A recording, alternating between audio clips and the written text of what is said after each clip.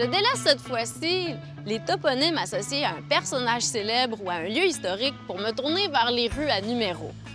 Quoi de plus inspirant qu'une quatrième rue ou qu'une 18e avenue? Vous en doutez? Je vais vous le prouver.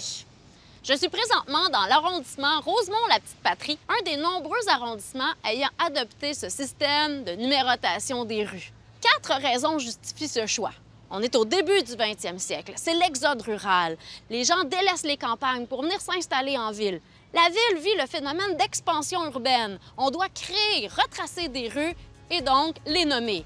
Il devient plus facile d'adopter des numéros. Deuxième raison, la ville, au début du 20e siècle, vit aussi le phénomène d'annexion des municipalités qui se retrouvent en périphérie de la ville, ce qui nous amène à un problème de dédoublement de noms de rues. En 1912, on a quatre rues Saint-Charles à Montréal. Les numérotations deviennent à ce moment-là la meilleure des solutions. Troisièmement, pour l'orientation et les déplacements des citoyens, c'est beaucoup plus facile de s'orienter par rapport à des numéros de rue que par rapport à des noms de rue, surtout lorsque l'alphabétisation est faible.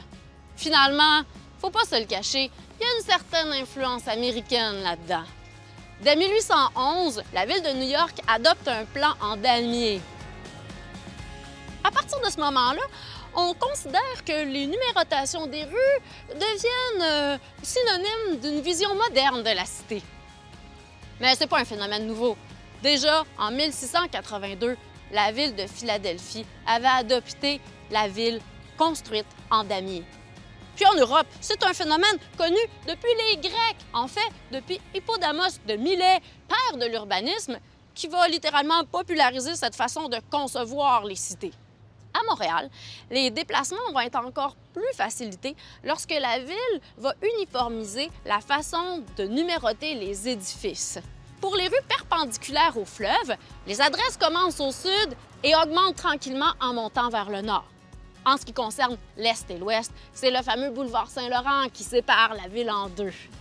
On remarque que dans la ville de Montréal, les édifices qui portent un numéro pair se situent au sud-ouest des rues, tandis que les édifices qui portent le nombre impair se situent au nord-est des rues.